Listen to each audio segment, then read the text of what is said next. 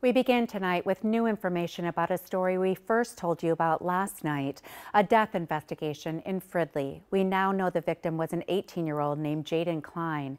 John Croman spoke with the young woman's neighbors who are shocked by her death. I just think it's horrible. This is a nice, quiet neighborhood.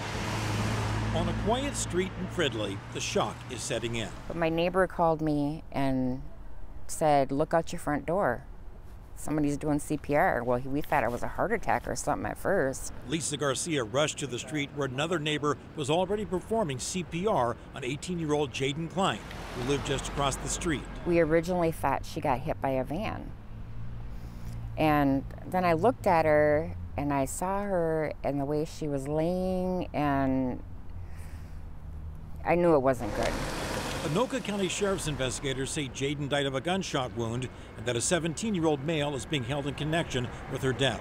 Neighbors told us ring camera footage placed the suspect's vehicle at the scene. So it was horrible to find out that that happened to her, and it's I can't get her face out of my head right now.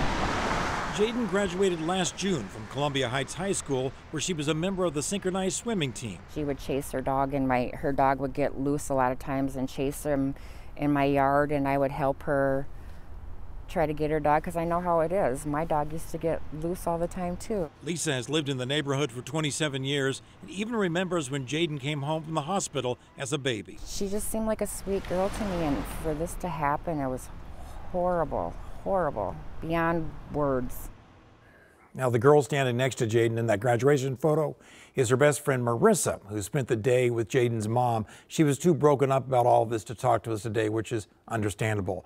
The Anoka County Attorney's Office says formal charges won't be filed until Tuesday at the earliest. Carl